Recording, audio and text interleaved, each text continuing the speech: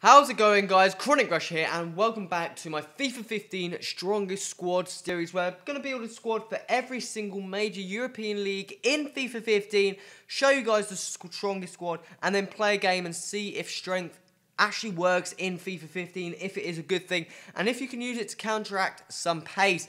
But uh, we've already done majority of the major European leagues. This is, I think, the last one, the Serie A. We're going to be building it today. We've already done the BPL, the Bundesliga, the Liga BBVA, and the French League 1. And probably the BPL has probably been the strongest team so far in terms of the high-rated cards and the best team to play with. We've picked up our first loss. We've picked up two wins, a draw, and a loss. The loss being in the French League 1 squad, just due to the fact that uh, the squad we came up against was unbelievably good and cost so much. Go and check out the episode to see that squad. It was quite an impressive game, to be fair. I expected to get absolutely annihilated by him. But today, like I said, we've got the strongest Serie A squad in FIFA 15. And um, it's got quite a solid average strength rating throughout the squad. Um, and let's get straight into it. So we're going to start off with the formation. It's going to be the 4-1-2-1-2 second version. We've used this formation before, and it just works due to the fact there is a couple good centre mids with good high strength ratings to put into the team. So we're going to start off with the goalkeeper, and it's going to be this player here, probably one of the weaker players of the team. Karnezis, I think it is, played at Udinese, and he's got around 79 strength. Not really high strength compared to some of the other keepers I've used in this series, but still the strongest keeper in the Serie A, and that's why he's got his place in the team. Moving on to the right back, we have this player here, Mikael Richards, Florentina man, recently transferred from Man City, obviously, and uh, he's got around 88 strength, which um, is pretty solid to be fair for a right back. Moving on to the centre backs here. The first player here is going to be this play here, Ciani. Plays for Lazio, and he's going to come in at 93 strength, joint highest in this team. His partner is going to be this player here, Koulibaly at the back. I've used him before. Very, very good, strong player coming in with 93 strength as well. And moving on to the final player in the defence, we have this player here, Holebas. Roma player, very, very good player in FIFA, and he has 79 strength. I believe he's joint lowest, um, and 79 strength still for a left back isn't too bad, but in compa comparison with the rest of the team, it is probably looking quite low. Moving on to the CDM, we have this player here from Florentina, Kurtic and um, he has around, I think it is 90 strength, which isn't too bad. Moving on to this first centre mid, we have this player here, Fredy Guarin, and uh, the Colombian here, he has a very, good strength rating for his size. I think he's not too tall, um, but uh, he has 88 strength. Moving on to the other centre mid, we have this player here, Yasmin Kukik, I think it is. Uh, Kucka, sorry. Um, and um, he has around 90 strength. And moving on to the final player, should I say, in the midfield, we have this player here in the cam spot, Paul Pogba, and um, normally as a centre mid, I moved him up to the cam spot, 83 rated player, very, very good card in FIFA. Um, more of a cam, should I say, in terms of his work race and stuff like that, um, but um, he's got a very, very good solid strength of 90 strength as well, also got an inform card of 92 strength. Moving on to the final players of the team, the strikers. Both of these players have 93 strength up top, which is pretty solid. The first player here is going to be this player here, Luca Toni. Um, and um, this guy is pretty slow for a striker, 34 pace. That's not going to be too good up top. Uh, but like I said, he does have 93 strength.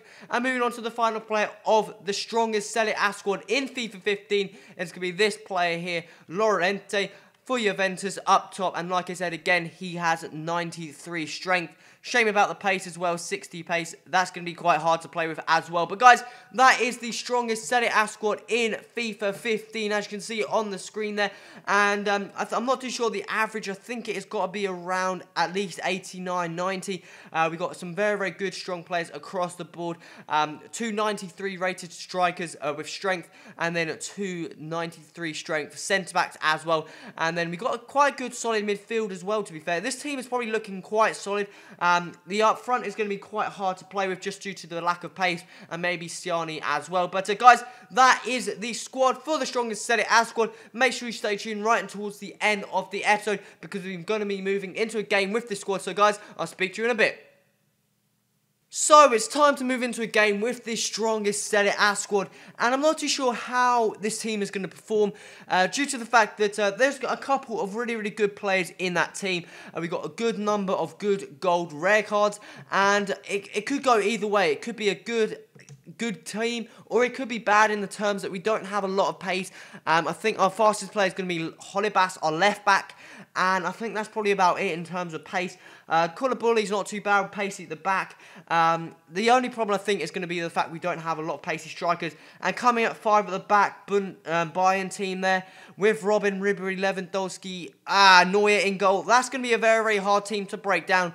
Um, but um, I like a challenge, and let's see how this team performs against the team we've just seen. Oh, no. That's a fantastic ball. 1 0 down already in the third minute. He, he I, I, didn't even have a touch of the ball since that kickoff. He got kickoff, played it around, and then my defence just opened up like a. Look at that. That It just opened up like the freaking Red Sea there.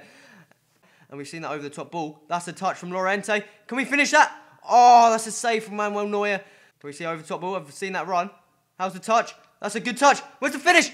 There's the finish! Who was that? I think that may have been Paul Pogba. I'm not too sure. Held off his player quite well there. And I thought I'd wasted the opportunity. I thought I took too long to shoot. Um, shoot. But uh, got around Manuel Neuer and put that in the back of net. There you go. 1-1. Paul Pogba putting that in the back of the net. And um, I was pretty happy. Like, the strong players seemed, any over the top ball, they just seemed to be able to win it against the centre backs. And uh, we kind of got a bit lucky for that ball to fall in his path. Uh, but that's in the back of the net. And I'm not going to complain. That makes it 1-1. Is Manuel Neuer getting there?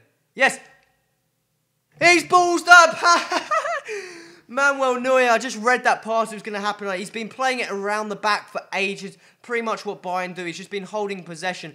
And the ball went to Neuer, and I knew that he was going to try and pass it out and just read it completely. Nearest player ran there, intercepted it, and open goal there. Luca Toni putting that to the back and let's go and make that 2-1. Pretty happy about that. I read him like a book, and that makes it 2-1. And let's get going, boys. No, he's through. He's through with Robben. I've got no chance catching up. I just have to my keeper. Oh, I thought it came off the post and missed, but Robben goes and makes it 2-2 there. As soon, they're, they're playing so high, Robben, Ribery and Lewandowski. They're literally playing on the back. All three of them playing on the back of my defence. As soon as one ball goes through the middle, it's normally either Robben or Ribery are just on that every time. And they're going to score 9 times out of 10 with a finesse shot. Um, what was I expecting there? I really should have done a lot better with the defending. Uh, but still 2-2. I'm not going to complain. Let's keep on going and see if we can get a goal back just before half time. Okay, guys, so that is half time, 2 2. And um, as you can see, in terms of him, he's had a lot more possession. He's been playing it around the back. He's basically been trying to play Bar, um, sorry, Bayern Munich style football in the sense he's just been holding possession for so long and then waiting for the right opportunity. Um, but I've been having some of the better shots on target. So the game's still on 2-2. Um, we've still got time to be able to get a goal. And um, I think it's going to be quite an interesting second half. So uh, let's get straight into it. And now it is. We just get absolutely broke on. Here we go. Oh, I needed that tackle come through. Holebas, keep him out there. Come on. Where's the pace? No. Woo. Oh, Alaba's committed. Oh. No. No, off the post. No. 87th minute, we've just hit it off the post. We had so many chances to shoot there. There you go, guys. So a 2-2 draw at the end of the game.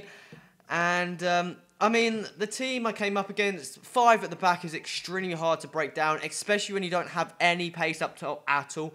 Toni was absolutely shocking.